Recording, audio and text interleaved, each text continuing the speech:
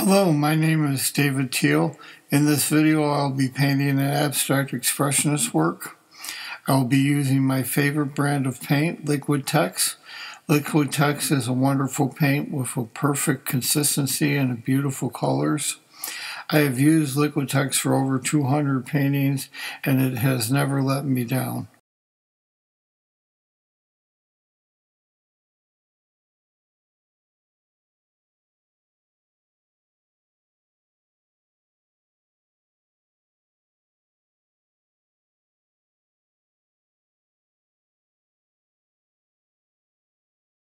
Have a nice palette here and a little bit more of uh, this one blue that I really enjoy over the top of that regular blue.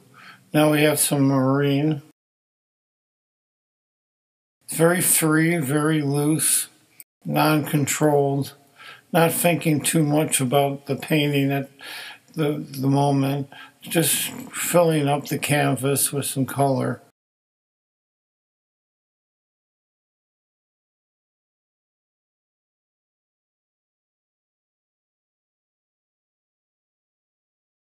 Now we got some yellow, a little more uh, of that marine. Just mark making.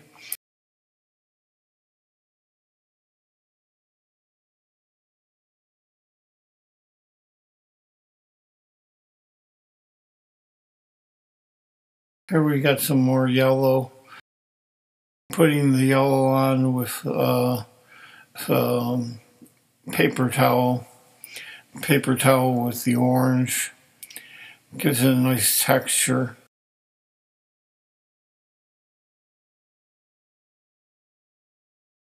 White with the paper towel. Then we also put some blue. This was the brush. Kind of sparkle it in there. So the painting's coming together.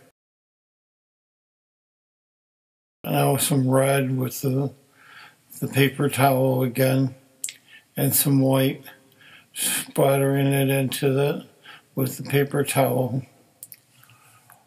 So and then some purple with a brush putting into into the paint and some flush color Liquitex tape to put in there.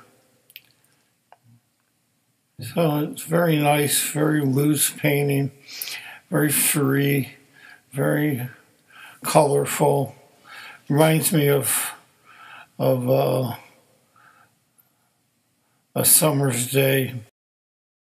I call this one No Flowers because even though I think some people might think it looks like flowers, there are no flowers.